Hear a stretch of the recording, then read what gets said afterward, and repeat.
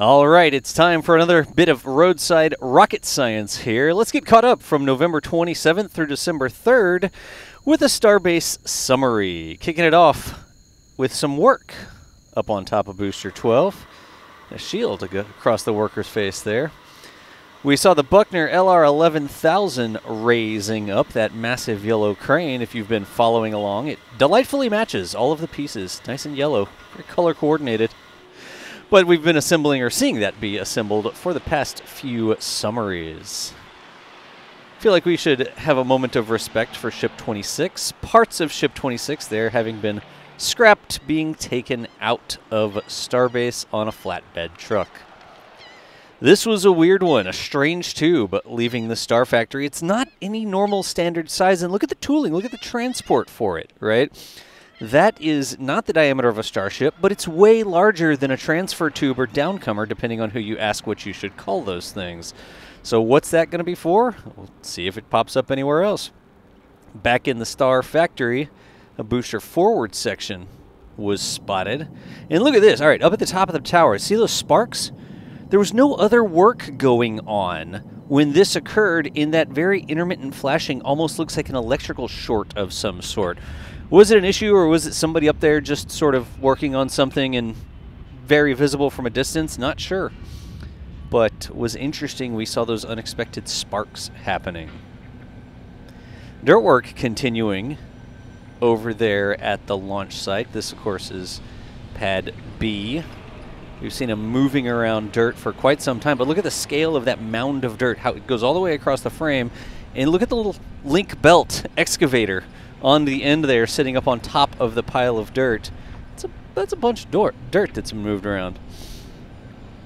A lot of excavators out there as well working on digging out what may be trenching for pipes or trenching for flames. I think in that case, that's still like the pipe trenching area, but we'll see. Once again, you see Mary's name down there in the corner, Boca Chica Gal, getting it from all different angles so we can keep an eye on what's going on. Also looking to get up in the air shortly. Jack was out for Thanksgiving, and we'll see if we can't do a flyover once everybody gets back in town. Part of the tank farm here, part of the water systems of the tank farm. Here's another shot. You continue to see them putting more pipes or work into those hippos there. The big condensers. Condensers? Recondensers? I mean, has it been condensed before? Are you recondensing it? It's like re-entry. Is it re-entry if you haven't entered in the first place? Anyways, problems for another day. You have all those raceways. This is sort of around the uh, filling area where the trucks back into. They're just leveling this off some or fixing the pavement, the concrete there, those big concrete pads that those trucks back into. Still would love to see a proper filling station, like pull-through filling station to increase the throughput of these trucks. It's a bit of a mess there on Highway 4 because the bottom of this shot is Highway 4 where public cars are driving and the trucks sort of block everything as they back in and out of those spots. It's it's not a very efficient design. Let's put it that way. It's not a rapidly refillable design. If you want it to be rapidly reusable, you probably need it to be rapidly refillable as well. Beautiful wide shot there from Mary, and then zooming in to look at pad A.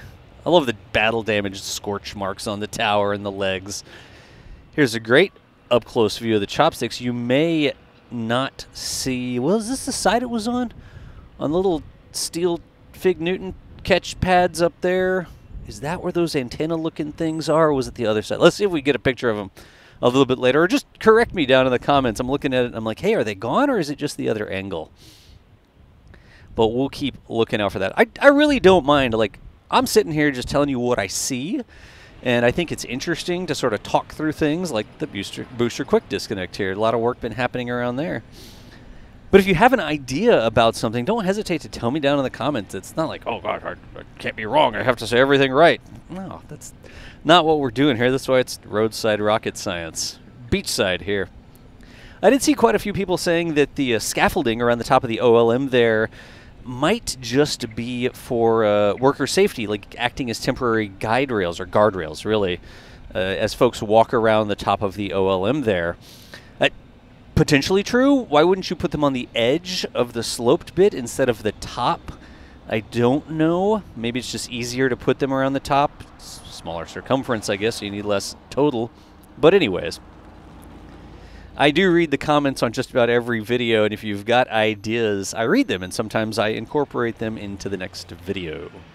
Kicking it all the way back to the assembly yard there, here are some uh, more scaffolding around the chopstick carriage for that second tower.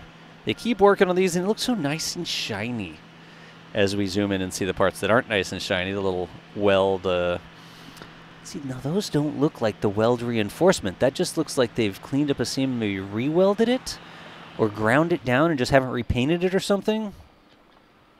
Anyways, some wooden structures moving around here.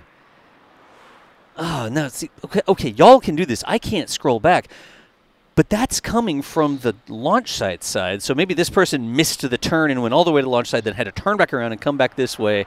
Uh, how similar are those to the structures that were supporting that mysterious mid-sized tube we saw at the beginning of the video? I'd have to scroll back and see, but I'll leave that as an exercise for the viewer to see if those are wooden structures, though. Are those similar to what we saw underneath that weird pipe? Maybe it wasn't supposed to go here. We're turning back around again. Interesting. Also, the outsides are painted white, but the insides are not. What incarnation is going on? Like, how. T- well, I almost want to read those labels as they go by. I guess that's going to head back to the uh, launch site. Here's some SPMTs rolling out heading towards Massey's. A right turn out of the production site here heads towards Brownsville and Massey's on Highway 4. A little bit of a driving there, or a little bit of a drive before they get to Massey's.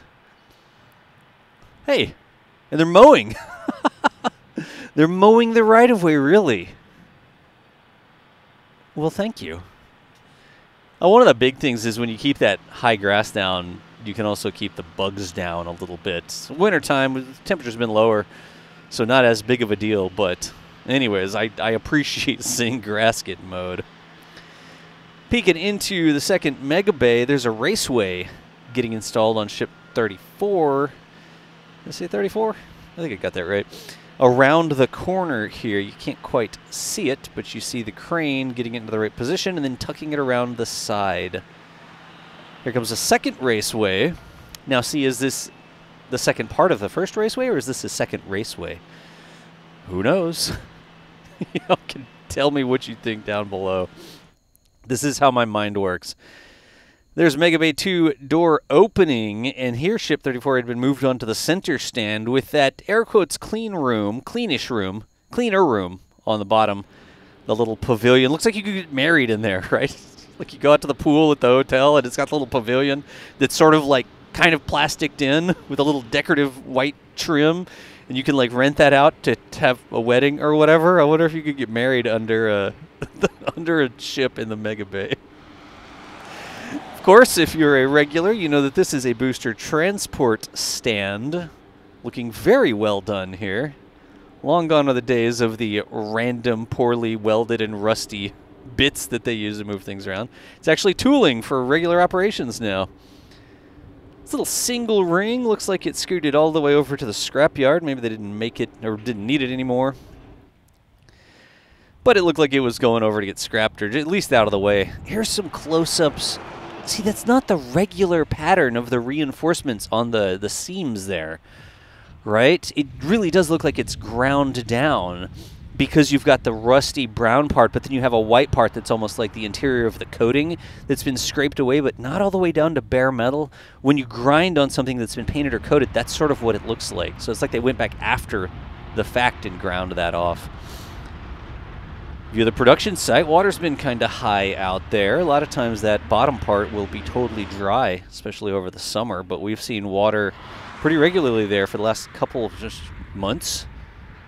So Another cool wide shot from Mary here. You can see a lot of Mary in this video because she, uh, of course, lives there. Jack was out for Thanksgiving, went back uh, home to hang out with family and friends. So Mary massive thanks for holding down the fort over the holiday weekend here. It's the big cable pulley system. People will probably yell at me and say, she, this isn't, it's all one big cable. Over there on Chopstick A, Chopsticks A, Chopsticks A.1 and A.2, Chopstick East A and East B, whatever you want to call it. I think right and left is really what we want there. Working up on top of the chopsticks. So the elevator go up and down in the background there. This is where you want just a little higher. Like, what are they doing down there? All right, what what is going on here? it's the new penthouse apartments under new management. Got some names on there. If you Google those names, you see the folks that work for SpaceX, but they've got the picture of the new OLM design there on the banner that has been unfurled. Wonder when we'll see that roll up the road so we can get a really good look at it. So here's what they did with that connector between the office building and the Star Factory. They put in a jaunty angle and made it a different color. Some white panels there to give it that futuristic forward-leaning look to the building as it leans towards the launch pads and the moon and Mars. Look, I made that up, but hey, I, I could see that on a presentation somewhere. Like, look at the active view of the building as it leans forward into the future. Gonna leave it off with a sunrise. This would be a rise if we're looking out of the water. My name's John. Some people know me as Das. Massive thanks to Mary and the SBL operators. Remember, you can watch 24-7 at Starbase Live. Look at it down in the channel. For now, that's your Starbase summary. Thanks for hanging out, and we will see you nerds later.